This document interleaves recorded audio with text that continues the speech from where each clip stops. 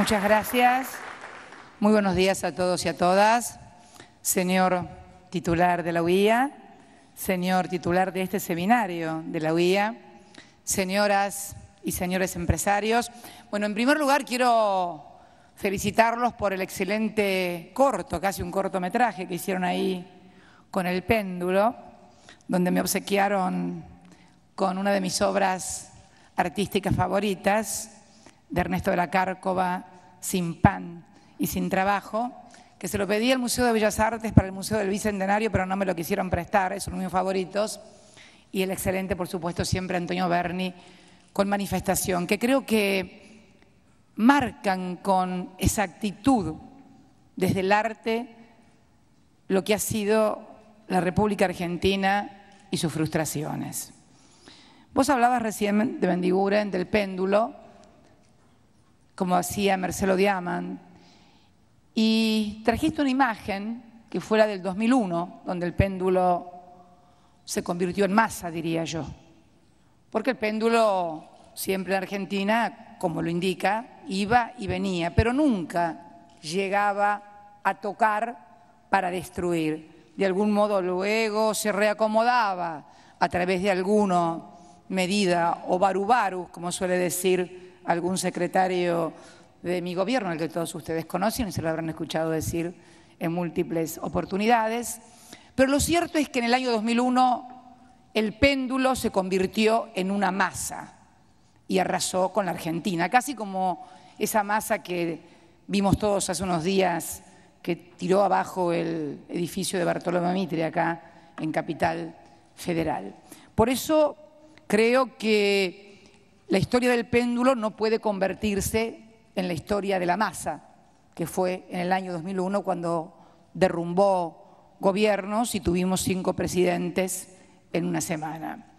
De esta Argentina que protagonizamos del año 2003 a la fecha, antes de ingresar en ella quiero hacerlo en un marco internacional, porque, a ver, no vivimos aislados, vivimos en un mundo, como recién indicaba de Mendiguren, sumamente interconectado y el cuadro de situación global que hoy tiene el mundo es complejo, difícil y por momentos asusta a algunos.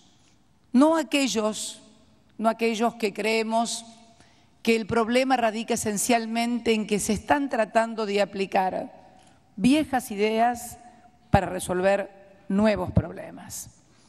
Hace pocos días, de Mendiguren y otros integrantes de la Unión Industrial Argentina me acompañaron a clausurar el seminario del B20 que agrupaba a los empresarios del G20. Y allí hablé de la situación de un mundo donde su producto global hoy, es decir, lo que ustedes producen, sea en producción o en servicios, está casi cuadruplicado en stock financiero. Esto es el spread entre lo que se produce y los recursos financieros es de 1980 a la fecha casi tres veces y media. Por eso utilicé el término de anarcocapitalismo financiero. Es imposible porque en definitiva el dinero se ha hecho como bien fungible para adquirir bienes o servicios.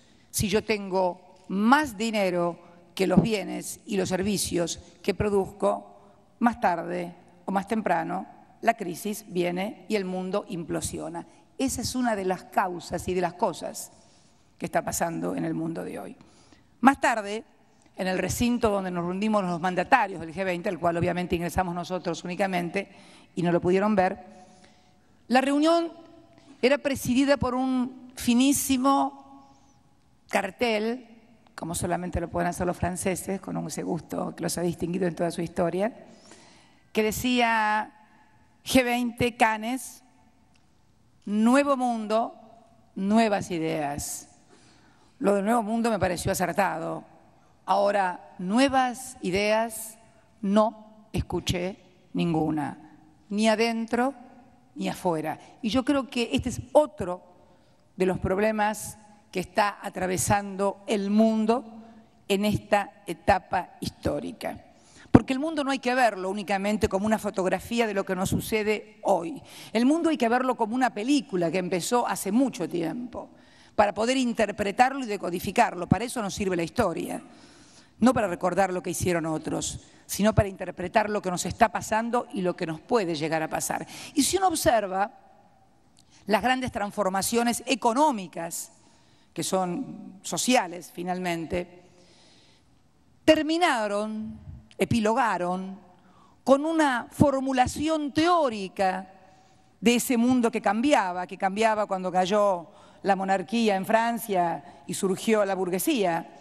A partir de allí surgieron las ideas liberales, surgió el capitalismo, pero primero estuvo el hecho social, histórico y político, y luego el marco teórico de donde se explicaba y se extraían los marcos de solución, de negociación y la ruta por donde seguir, aparte de ese marco teórico y esa decodificación. Lo mismo podríamos decir cuando eh, surge con mucha fuerza el capitalismo y como suele suceder en toda la historia, a cada acción surge una reacción y surge definitivamente a través del marxismo o lo que fue el comunismo, en ese mundo bipolar que atravesamos en toda la segunda mitad del siglo XX. Pero hubo también un hecho que fue una explotación inhumana que hacía trabajar a pequeños, a mujeres, en condiciones que todos vimos en documentales, en películas,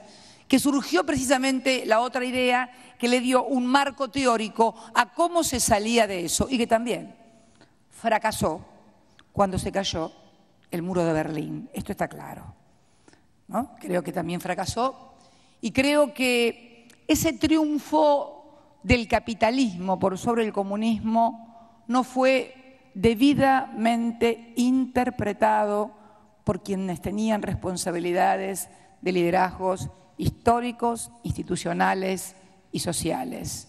La gente quería vivir mejor y con libertad, pero también con garantías, seguridades, con equidad y con justicia, cosa que a partir de lo que parecía una hegemonía global eterna y bajo la luz del consenso de Washington y las políticas neoliberales, bueno, ya conocemos cómo se arrasó América Latina. Me encantó la intervención, ustedes no la pudieron escuchar ni nadie porque fue interna, de la presidenta del Brasil, Dilma Rousseff, que realmente me emocionó porque explicó lo que había sido para América Latina, para Brasil, dijo más concretamente, y para Argentina, las políticas del Fondo Monetario Internacional. En Brasil habían significado 20 años de devaluaciones permanentes y desastres permanentes, y en Argentina había eclosionado en el año 2001, algo que impactó fuertemente también esta intervención al señor presidente de los Estados Unidos, porque realmente fue una intervención brillante que tuvo la presidenta de la República Federativa del Brasil.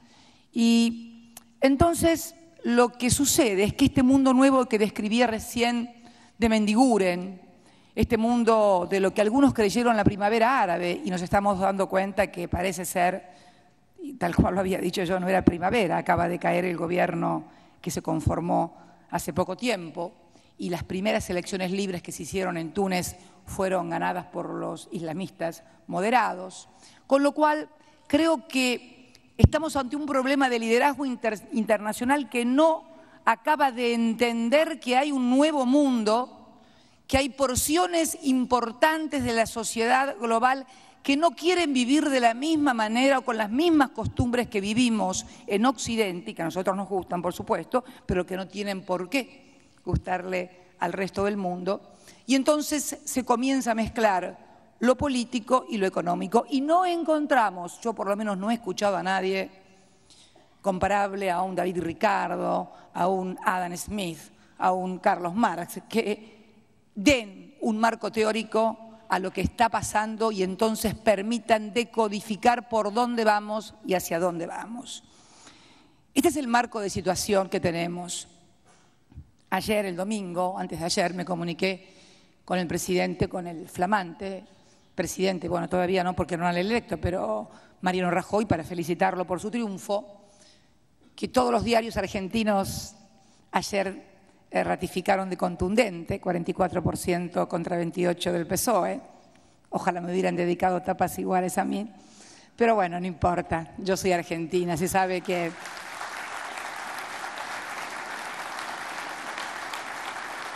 Pero bueno, uno no tiene que ser envidiosa.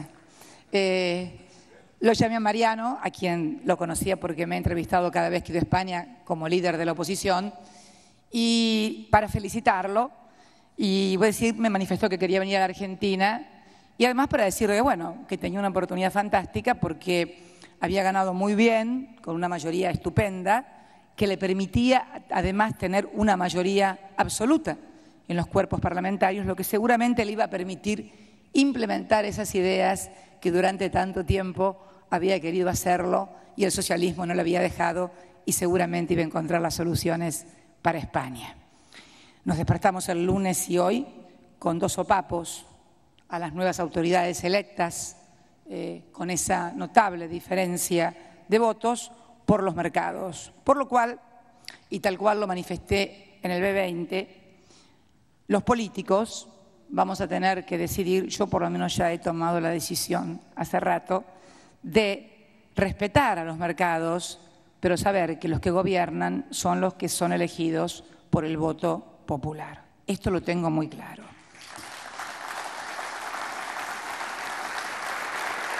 Volviendo, volviendo a la Argentina, a nuestra casa, que es lo que nos interesa, sé que todos los que me precedieron en el uso de la palabra, el propio cortometraje excelente del péndulo, donde muestra lo que ha sido el crecimiento industrial de la Argentina en este modelo, en este modelo argentino que ha sido un modelo de crecimiento, de generación de empleo y de inclusión social, que nos dice además que la actividad industrial ha crecido por sobre la actividad económica, además.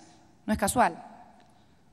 Eh, tenemos esa actividad económica, ese nivel de actividad económica, porque el crecimiento industrial ha sido más alto que la actividad económica porque ha sido el que ha generado puestos de trabajo, ha generado un fuerte mercado interno y nos ha permitido hacer ese crecimiento que hasta hoy llevamos en nueve puntos de eh, los últimos 12 meses anteriores y también en lo que va del año. Un crecimiento económico importante con una tasa de desocupación del 7.2, la más baja de la serie, queremos seguir bajándola.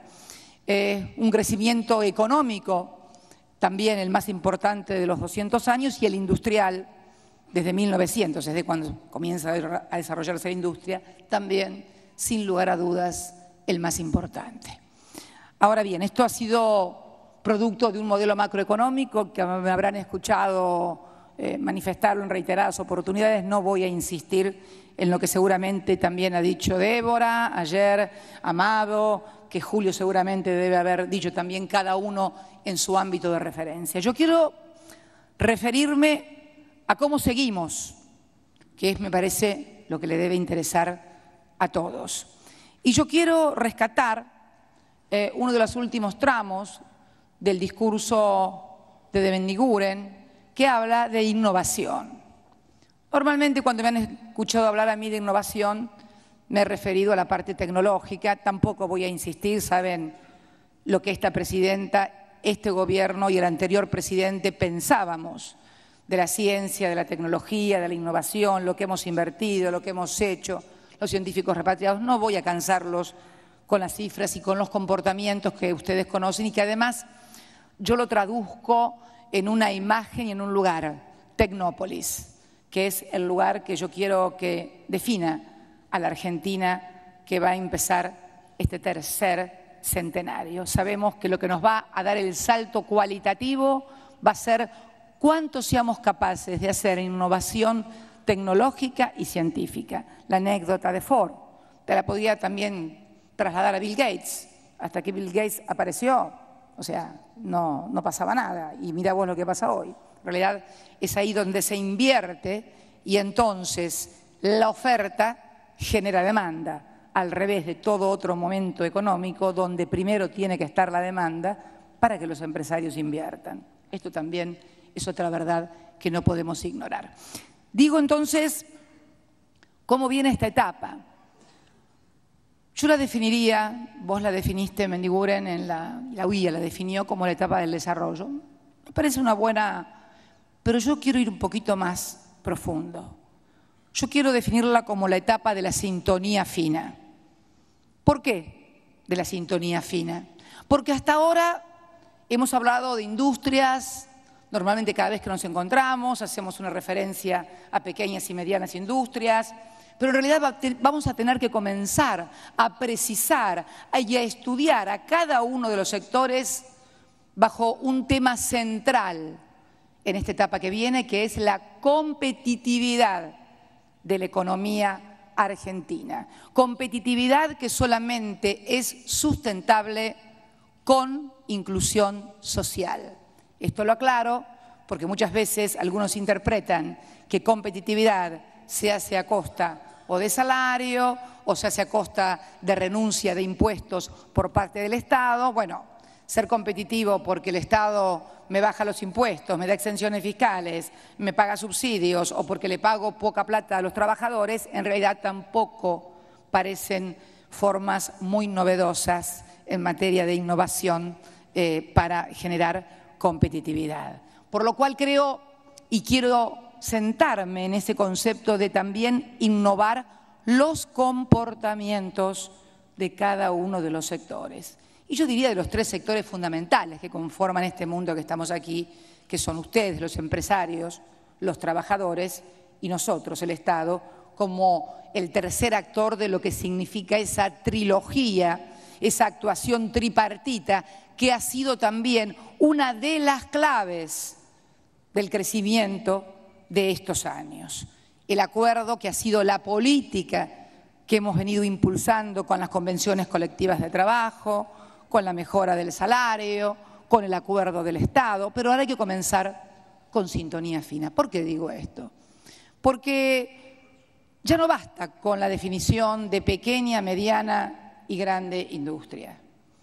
Hay que comenzar a ver, por ejemplo, en las grandes industrias y sobre todo fundamentalmente en lo que son los grandes temas, inversión, cuestiones salariales, inflación, eh, subsidios, hay que comenzar a hablar y analizar con sintonía fina. Si estamos utilidades, que es otro tema del que tampoco se habla, porque esto también tiene que ver con la economía y creo que también a nivel global es una de las claves. Se intenta la fórmula de no tocar utilidades o preservar utilidades, fundamentalmente de lo que hace el sector financiero, eh, y que la crisis la paguen los que menos tienen. La fórmula de que la crisis se la quieran hacer pagar a lo que los menos tienen, terminan como terminó la Argentina en el año 2001, con la masa pegándole a la pared, no ya el péndulo. Nosotros lo probamos. ¿Qué quiero decir con esto entonces? Grandes empresas, grandes empresas que tendremos que comenzar a definir. Yo quiero definirlo para que ustedes me entiendan. Por ejemplo, en esta semana me tocó estar en General Motors, en Rosario, una de las mejores cinco plantas de General Motors. Me voy a referir al sector automotriz, un, sector muy importante. ¿Por qué? No solamente porque genera gran eh, mano de obra intensiva y altamente calificada, sino porque además no es monopólica. Es una actividad donde tienen una fuerte competencia. Es más, compiten permanentemente sacando nuevos modelos. Estuve en Peugeot en 3 de febrero, el día jueves, donde presentaron su séptimo modelo de auto en estos últimos ocho años. Estuve ayer en Ford Motors Argentina, donde inauguraban la fábrica de motores que habían cerrado en el año 1995 y la inauguraban como plataforma global para toda Ford Motors Argentina en los autos que estaban produciendo, inclusive con autopartes y prometiendo alcanzar a partir de este desarrollo con autopartistas pegados a su fábrica el 40% de integración. Con ellos también estamos hablando sobre la balanza comercial para poder equilibrarla durante el año que viene. Y lo pongo porque son grandes empresas que al mismo tiempo generan un desarrollo fundamental de otras pequeñas y medianas empresas como son el sector autopartista. Pero también podemos hablar, y ellos en su gran mayoría además, han reinvertido las utilidades totalmente en la República Argentina. Aprovecho, aprovecho para pasar un aviso frente a tanta cosa que se publica y se dice de modificación, de promoción, de ley, de inversiones y cosas extrañas que no se va a permitir por ley remitir ganancias. Yo creo que ofenden la inteligencia a los argentinos. A mí no me preocupa la gente que lanza estas cosas, que lo hace como han lanzado todo clase de rumores en las últimas semanas de los más disparatados. Realmente no me preocupan porque sé los intereses que representan. A mí lo que más me preocupa son los tontos que pueden creer cosas como estas luego de ocho años y medio que lleva este gobierno. Estas son las cosas que me preocupan. Porque, como decía Perón, los malos pueden volverse buenos, pero los tontos inteligentes es una tarea mucho más difícil e ímproba. Entonces, yo les pido, yo les pido a todos que miren lo que hemos hecho, cuál ha sido el comportamiento de nuestro gobierno desde el año 2003 a la fecha ante cada crisis, porque no hemos tenido una sola corrida, vamos por la cuarta o por la quinta, eh, y cuando teníamos muchísimas menos reservas para hacer mención concreta a algunas cosas. Así que creo que todos deberían comprender hacia dónde vamos. Pero me refería, por ejemplo, al tema de reinversión de utilidades en industrias precisamente que además son grandes industrias, grandes empresas, que además son filiales extranjeras también, podrían hacer su remesa de utilidades a su casa matriz, y sin embargo han optado en seguir hundiendo aquí su dinero y en seguir invirtiendo para mayor tecnología e innovación. Podemos hablar de alguna otra gran empresa, no voy a hacer nombre de nadie, porque mi interés no es discutir ni pelear con nadie, yo solamente quiero que entendamos las cosas que tenemos que hacer si queremos que este crecimiento siga adelante. Y podemos hablar de alguna otra gran empresa, no importa cuál, que teniendo eh, utilidades muy importantes, de las cuales una parte importante son los subsidios en materia de energía eléctrica y de gas, que no lo hemos tocado, por tratarse de una empresa de insumos difundidos, es decir, que impacta y afecta al conjunto de la economía. Pero estas son las cosas que vamos a tener que ponernos a sentar a, discutir y hablar para hablar de inversión, para hablar de inflación, para hablar, en fin, de todas las cosas que tenemos que hablar muy en serio. Y yo estoy dispuesta, como está dispuesto todo mi equipo y como lo ha estado siempre, a que abordemos todos y cada uno de estos problemas. No hay que enojarse, no hay que pelearse, pero por sobre todas las cosas no hay que hablarse por los diarios. Cuando uno quiere solucionar las cosas, lo que hay que hacer es tomar un teléfono o ir hasta la oficina del funcionario y hablar con ese funcionario. Nunca vi que nadie solucionara nada por los diarios. Al contrario, por los diarios siempre las cosas se complican y más y no revelan, por cierto, un ánimo de solución.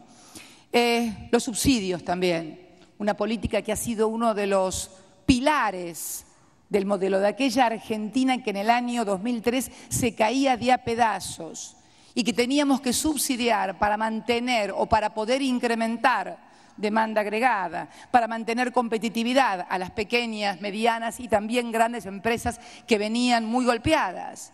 Pero siguiendo, por ejemplo, con esto de la inversión, esta empresa que en el año 2008 obtiene un 31% eh, de utilidades, en el año 2010 un 31% más que en el 2008, sin embargo, invirtió en el 2010 un 35% menos que en el 2008. ¿Qué es lo que quiero decir con esto? que nosotros tenemos que saber que para mantener el modelo tenemos que seguir reinvirtiendo para poder seguir ampliando nuestra capacidad productiva, no solamente para este fuerte mercado interno que fue el que nos permitió sortear la crisis del año 2009, sino el que nos va a permitir, a través también de un proceso de integración generoso entre los países del Mercosur tener un potente mercado intrazona América del Sur. De allí van a venir las soluciones y no de ninguna otra parte. Tocando también un tema, eh, inversión también que el Estado, por cierto, ha incentivado a través de un Banco Nación que hoy debe constituir, me atrevo a decir, no lo veo Juan Carlos Fábregas, pero por ahí debe estar, ahí está y lo veo, decime cimiento, un 30% de la economía real. ¿Estamos bien si decimos un 30% de la economía real? Y a través, por ejemplo, del el programa del Bicentenario, financiamiento productivo.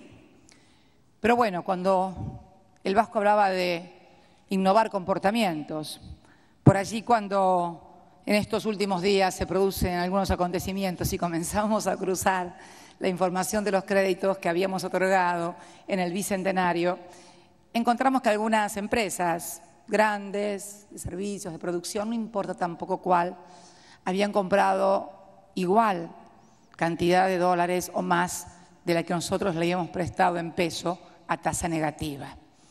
Digo, eh, el péndulo me parece que lo debemos controlar entre todos sobre todo entre los que más pueden mover la economía, que no son, eh, no son miles ni millones, mm, son, son muy pocos. Creo que, creo que es hora que hablemos con sinceramiento, sin enojarnos. Ya aprendí a no enojarme, ya nada me enoja. Después de lo de él no me enoja más nada. Eh, nada más que lo del me enojó, pero bueno, ya está. Así que tengan la certeza absoluta de que van a encontrar una presidenta abierta a todas las ideas, pero fundamentalmente a seguir sosteniendo a rajatabla esa demanda agregada, ese poder adquisitivo de las clases más vulnerables, que son las que no tienen capacidad de ahorro. Ellos no me hacen contado con liqui. Bueno, en realidad contado con liqui ahora después de algunas reformas que hemos hecho en el central no lo puede hacer nadie, pero ya van a encontrar seguramente desde el sector financiero alguna forma. Eh, también estaremos atrás de ello. No son los jubilados de la mínima los que me remesan eh, o, atesoran en billete o utilidades este, en portafolio o cambian de portafolio. Entonces, yo creo que tenemos que ser todos muy sinceros es cierto, vivimos en una economía bimonetaria, pero la verdad que lo bueno sería, como hace Brasil y como hace cualquier país del mundo, vivir en la economía nuestra. Les reconozco algo, les reconozco algo. Esta idea de la cultura bimonetaria tiene también una raíz histórica. Desde el año 1930 aproximadamente a la fecha, nuestra moneda ha perdido 13 ceros. ¿Escuchás, Vasco? 13 ceros. 13 ceros perdió nuestra moneda. Esos 13 ceros cimentan la desconfianza de los argentinos y bueno, es la obligación de todos de revertir esta historia, porque yo no creo que nos haya caído la oportunidad, ni que tengamos una oportunidad. Yo creo que nosotros, los argentinos, hemos creado la oportunidad en estos ocho años con un modelo virtuoso, e industrial, de generación de empleo para poder salir adelante como lo hemos hecho. Por eso digo la etapa de la sintonía fina. Por eso quiero hablarle también a los empresarios del tema de las utilidades. ¿Qué empresario no quiere tener utilidades? Todos queremos ganar plata. Lo que vamos a tener que medir en este mundo es una utilidad que tenga un estándar más o menos internacional, pero lo cierto es que las utilidades de las empresas argentinas están todas por arriba de los estándares internacionales en materia de utilidad. No me molesta, les reitero, no me molesta en tanto y en cuanto esa utilidad por encima de estándares internacionales nos provoque situaciones como las que viven en, Europa o en Estados Unidos de un fuerte endeudamiento del resto de la sociedad, porque vamos, el dinero que no está acá se va para allá. Y entonces hay que explicar parte del formidable endeudamiento de las economías públicas y de las economías familiares precisamente en estas cosas. Afortunadamente, una de las lacras más importantes que nosotros tuvimos en toda nuestra historia, que fue la deuda externa y el peso de la deuda externa, hoy el peso de la deuda es mínimo prácticamente. Permítanme que encuentre el papel que en algún lado tiene que estar y aquí está para decirlo con todas las letras. Disminución de la deuda externa total, pública, privada, en relación al Producto Bruto al 32.2%. 32.2%. Yo creo que de la Barimbrade para acá no se reconoce una relación entre PBI similar. La deuda pública en moneda extranjera se redujo al 27,5 del PBI. O sea, nuestro endeudamiento público en moneda extranjera, esto es dólar, moneda, moneda de reserva, moneda de emisión, 27,5 eh, del PBI. Era el 106 en el 2003. Y se estima que a fin de año la proporción de la deuda pública en moneda extranjera que estará en manos del sector privado será solo el 8,7% del PIB. El otro está dentro del sector público en distintas, en distintas instituciones. Esto no es una cuestión menor. Si a esto sumamos las reservas, si a esto sumamos un superávit comercial porque, no sé si te lo habrá explicado Mercedes, Marco del Pon, cuando estuvo ayer, pero si uno ve como una línea, imaginen una línea recta, horizontal, donde la parte de arriba es depreciación de la moneda y la parte de abajo es revaluación de la moneda. Y si observamos el ciclo entre el año 2007 y 2011 respecto de los otros países de la región, Brasil, Chile, eh, Perú, Colombia, México inclusive, vamos a ver serrucho. Están así. ¿Por qué el efecto serrucho que se revalúan, se devalúan, se revalúan, se devalúan? Porque el ingreso de sus capitales es de carácter financiero y por lo tanto la volatilidad depende de la volatilidad de los mercados. Si ustedes observan la línea argentina, nunca la van a ver en la línea de la revaluación de la moneda, siempre la van a ver en la línea de depreciación de la moneda. Tal vez no con la intensidad que querrían todos los exportadores, pero entonces que no me vengan a hablar de inflación después, porque si yo no tengo controlada también la variable del dólar, Vamos, muchachos, dos más dos es cuatro. Y todos sabemos que me, terminan referenciando los precios de los bienes y los servicios en dólares. Pongámonos de acuerdo entonces, porque no se puede la chancha, los 20 y la máquina de hacer chorizos. Hay que tener. Hay que tener hay que tener un adecuado timing, un adecuado timing de cómo se manejan cada una de estas variables, porque también quiero aclararles. Nuestro modelo es un modelo de crecimiento, no de metas de inflación.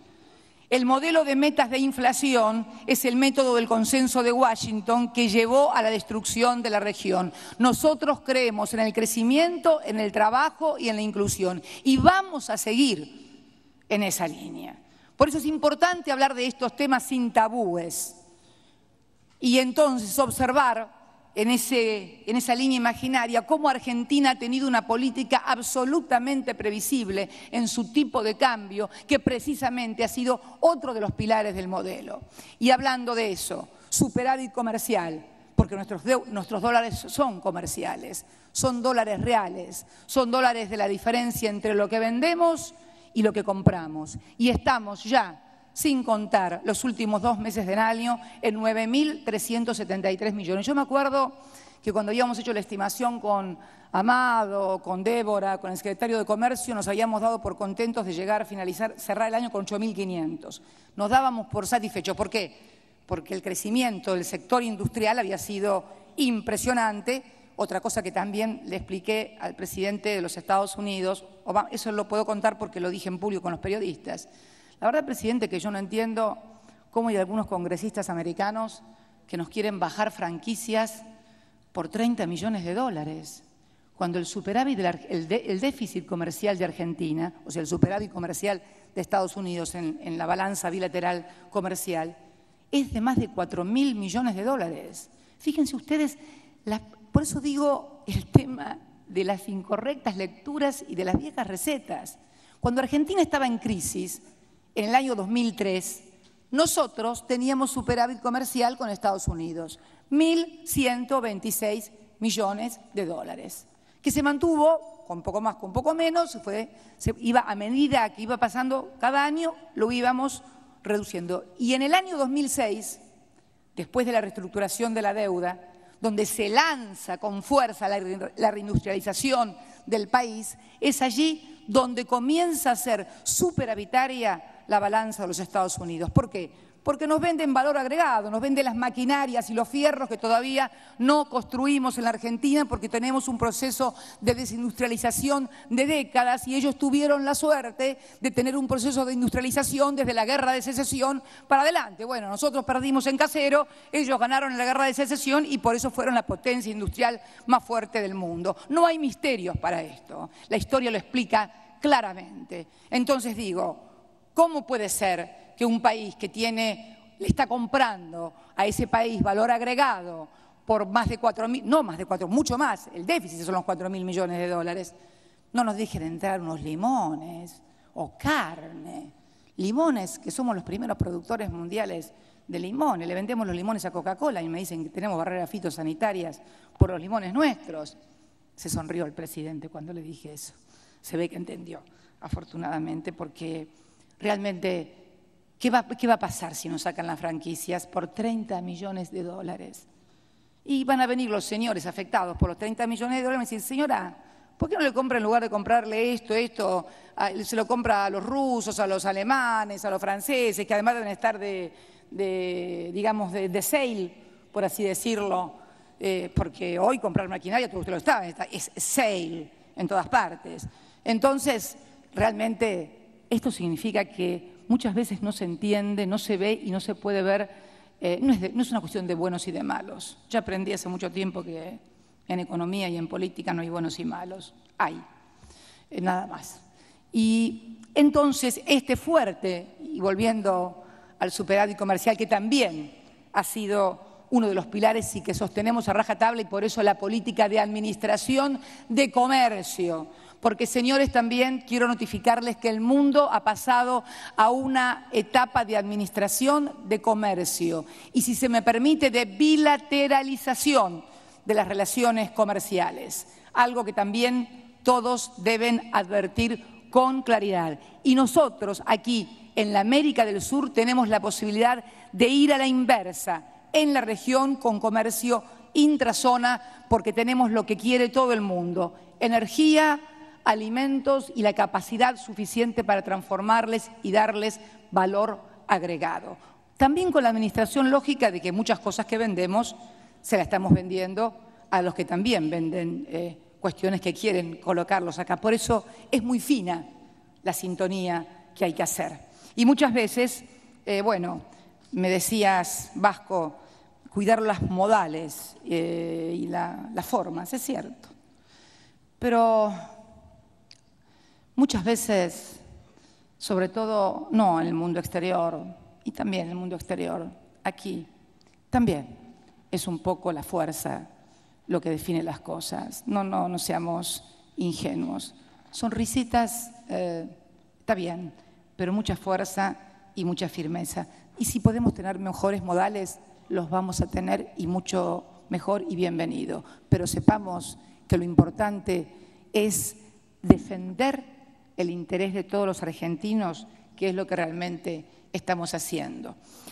La otra cuestión, que es también una cuestión que desvela permanentemente al sector empresarial en conversaciones o manifestaciones y que hace la competitividad de la economía y que también hace a la inclusión social, es el tema de otro actor, porque ahora, hasta ahora estuve hablando de los empresarios y del sector empresario, del otro gran actor de esta película, que son los trabajadores y sus dirigentes sindicales.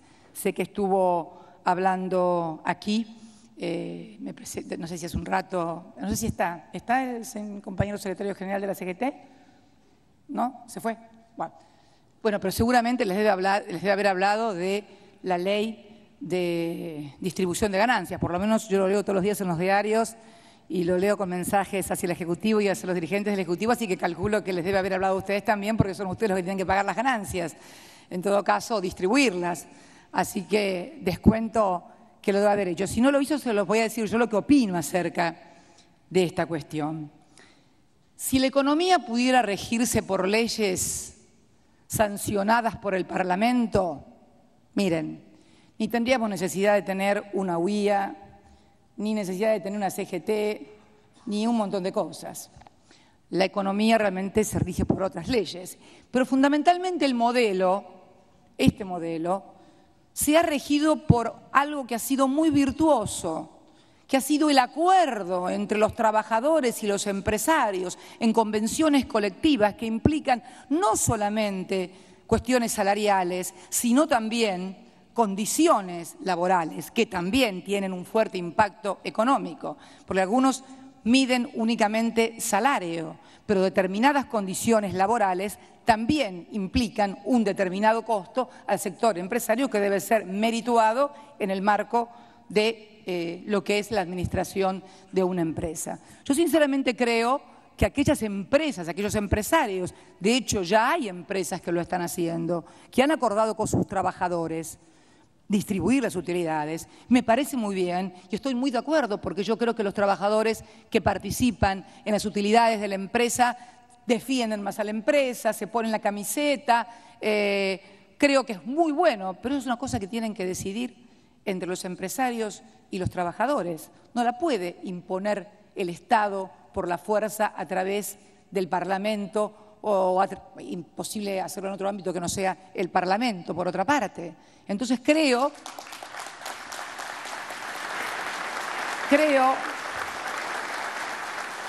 creo que, creo que la distribución de utilidades, es más, creo que la distribución de utilidades en algunas empresas, de las grandes sobre todo, que son las que más posibilidades tienen, porque también seamos sinceros, cuando estamos hablando de utilidades o distribución de las utilidades, no estamos hablando de todas las empresas y de los millones y millones de trabajadores argentinos. Estamos hablando de aquellos que tienen la suerte de trabajar en empresas que pueden tener por su actividad, por su actividad, aunque no tengan gran volumen de empleados, o por la magnitud y el volumen de la empresa, la posibilidad de distribuir. Pero esto no es aplicable a todos los trabajadores. ¿Cuántos se podrían ver beneficiados? Y la otra cuestión que se debería resolver es cuando la empresa tiene pérdidas porque hay una crisis o algún problema, qué es lo que hacemos eh, con eso. Por eso creo que son cosas que tienen que acordarlas como lo han hecho hasta ahora entre los trabajadores y el sector empresario. Pero creo que es un método que debe ser analizado en ese ámbito. Y también, hablando de la cuestión, es importante también señalar la necesidad de eh, defender las conquistas laborales. Esta presidenta, antes de ser presidenta, fue legisladora nacional. Fui diputada en el periodo de 1997 al 2001 y fui senadora también.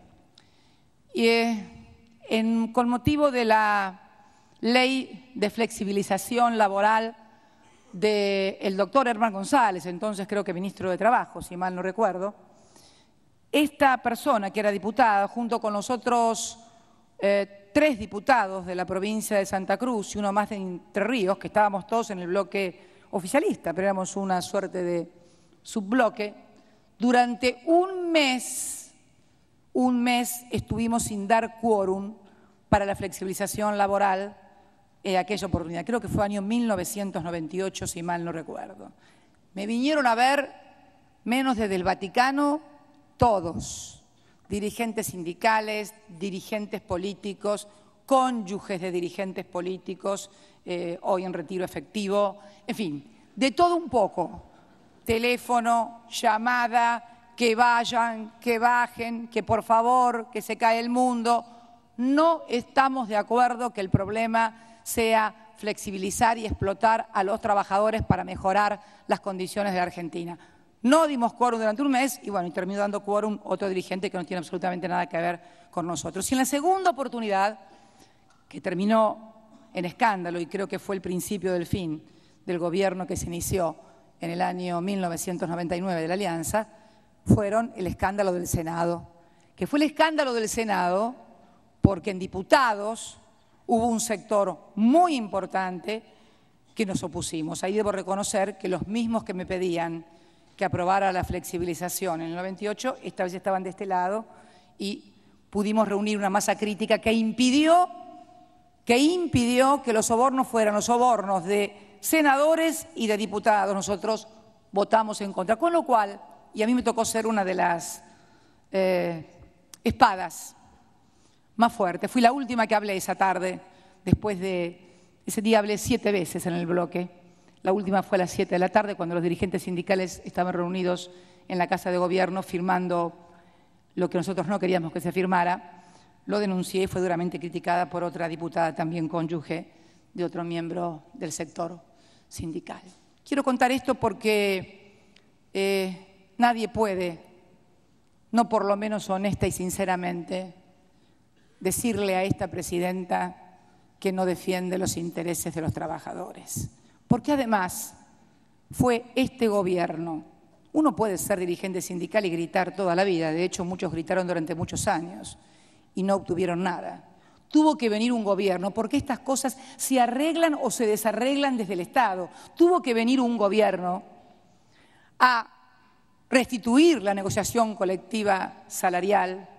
Tuvo que venir un gobierno a fijar todos los años el salario mínimo vital y móvil, que es el mejor de toda Latinoamérica. Tuvo que venir un gobierno a mejorar la situación de los jubilados que no tenían congelados sus saberes durante décadas e incorporar a millones de personas que por efecto de privatizaciones, de falta de trabajo, de desidia de quienes sus patrones no habían aportado para eso, para otorgar estos beneficios. Por eso creo que tengo, sin ser dirigente sindical, pero sí siendo trabajadora toda mi vida, porque he trabajado los 18 años, creo que tengo pergaminos suficientes para acreditar que siempre he defendido también los intereses de los trabajadores y que no soy neutral en el conflicto, que siempre voy a estar del lado del sector más vulnerable. Pero también sé, como presidenta de todos los argentinos, que hoy no solamente tengo responsabilidad frente a ustedes, empresarios,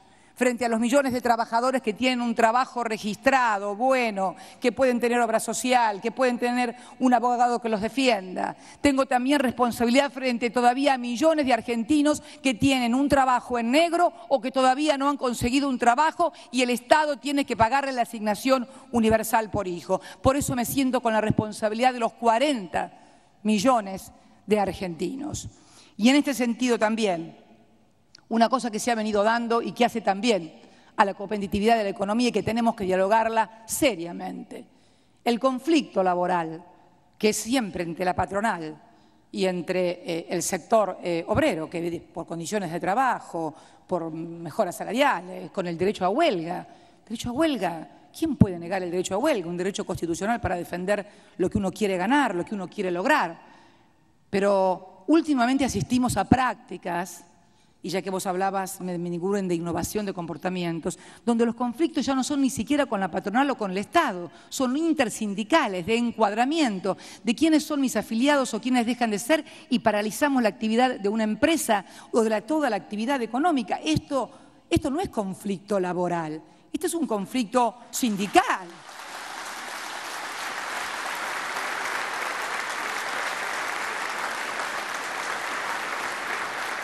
El conflicto, laboral siempre se da entre el patrón y el obrero. Pero cuando se da entre dos sindicatos porque se están tironeando los trabajadores, no podemos hablar de un conflicto laboral. Pero esto le hace perder competitividad a la economía. Nos para la economía en muchas, en muchas ocasiones. Entonces también creo que son prácticas como tampoco, por ejemplo, acatar las conciliaciones obligatorias que es el gran instrumento, de acuerdo también, es el periodo de los 15 días en que sentamos a los patrones y a los obreros a tratar de negociar y solucionar el problema, porque nuestra vocación es de solucionarlo. Y solucionarlo siempre no solamente a favor de quien tiene razón, sino también que la razón vaya de la mano de la justicia, porque muchas veces hay razones legales que no van de la mano de la justicia. Y tenemos que lograr vincular estos dos conceptos, que la solución de esos conflictos vayan de la mano de la legalidad y de la legitimidad para poder seguir, como vos decías, tocando una buena partitura. Vasco, yo estoy de acuerdo con lo de la partitura. Eh, por eso quería decirles también mi opinión sobre estas cosas, que muchas veces las sufre el propio Estado como empleador en empresas de servicio.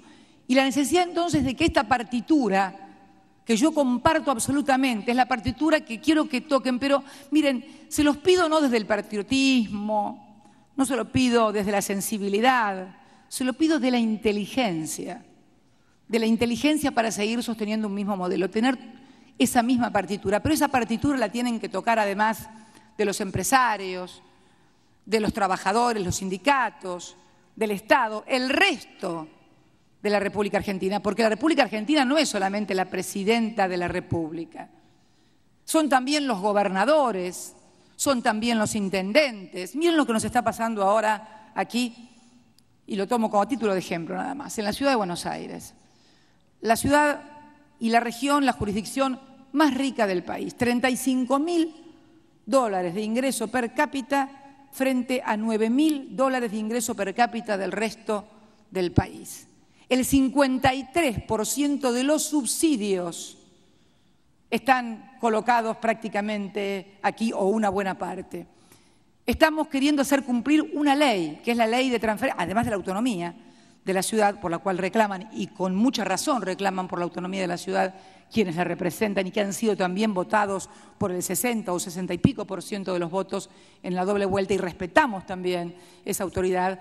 Eh, pero lo cierto es que hay leyes y hay acuerdos y hay una lógica, que es la transferencia de los subtes que queremos que se haga a la ciudad de Buenos Aires, en la cual hemos ofrecido seguir con el subsidio la mitad todo el año, eh, darle los más de 1.800 millones de pesos en obras gratis, sin cobrarlos, terminar la línea E, que es también una de las obras, la obra más importante que se está haciendo en subte, y bueno, si no lo pueden hacer el primero de diciembre como queríamos, lo podrán hacer el 15 o a fin de mes, pero no el 2017. No le estamos pidiendo que vayan a negociar con el Club de París. No le estamos pidiendo que vayan a hablar con Christine Lagarde al Fondo Monetario Internacional. Estamos pidiendo que se hagan cargo de los subtes, que además funcionan únicamente en la ciudad de Buenos Aires, que me ayuden también a poder conducir la Argentina. Y este ejemplo lo quiero transmitir a todos los gobernadores, a todos los intendentes, porque si no, en realidad se hace muy difícil, sobre todo para quienes durante mucho tiempo criticaron duramente los subsidios y hoy piden extenderlos hasta el 2017. Entonces, pongámonos de acuerdo. Yo podré tener muchos defectos y tengo millones de defectos. Sé que para algunos no me tragan ni con... Pero mentirosa no soy. Y la verdad que siempre dije lo que pienso. Y por decir lo que pienso siempre, tuve bastantes dolores de cabeza. Entonces yo lo que pido a todos es esto que pedía mi querido amigo de Mendiguren. Innovación en los comportamientos. Innovación en las cabezas. No nos va a servir de nada la innovación científica, tecnológica, que tengamos eh, terneros clonados, vacas clonadas, autos que vuelen, eh, eh, trenes que transporten gente al espacio. No, no nos va a servir nada cohetes espaciales si no innovamos el comportamiento. Porque ese péndulo, ese péndulo que se convirtió en masa en el año 2001, no fue ni más ni menos que el producto de nuestro propio comportamiento como nación y como país durante los 200 años de historia. Así que, para no dar más la lata y para agradecerles esta invitación, quiero decirles finalmente que yo siento a mi país con mucha fuerza y me siento con la inmensa responsabilidad, la más grande, la más grande porque, bueno, soy la presidenta en la pirámide de poder, te tocó ese lugar. Eh, quiero que sepan que conmigo siempre van a tener una persona con la cual van a poder dialogar, con la cual van a poder hablar, pero cuando hablemos de economía yo voy a hablar con números. Y quiero que cuando ustedes me vengan a hablar a mí también me vengan a hablar con números.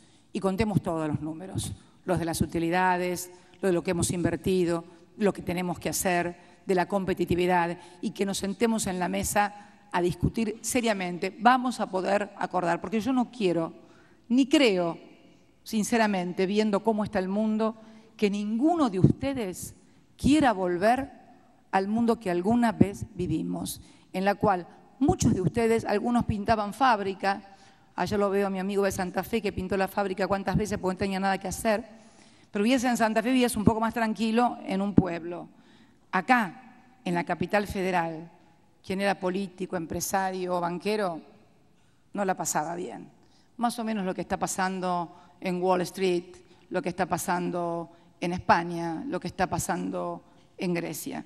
Y yo no quiero que esto vuelva a pasar en mi país. Y esto no depende nada más ni nada menos de lo que estamos aquí y también de muchos que están afuera. Me refiero afuera de este recinto, no afuera de lo que es la estructura productiva argentina. Porque todos los que estamos adentro de la estructura productiva argentina tenemos la inmensa responsabilidad con los que todavía están afuera. Por eso quiero agradecer esta invitación a la clausura de este seminario de la UIA y a decirles a todos los industriales argentinos, a todos los productores, a todos aquellos que generan bienes, servicios de toda índole, de toda gama, que en mí siempre van a encontrar a una presidenta dispuesta a seguir invirtiendo y trabajando por el país, porque creo sinceramente que el crecimiento, la inclusión, el desarrollo del mercado interno, el aumento de las exportaciones es lo que nos ha valido que muchas veces hoy nos miren en el mundo con asombro.